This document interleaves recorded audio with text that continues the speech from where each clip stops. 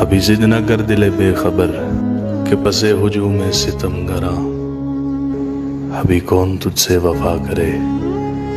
अभी किसको फुर्सत है इस कदर के समेट कर तेरी किरचियाँ तेरे हक में खुदा से दुआ करे?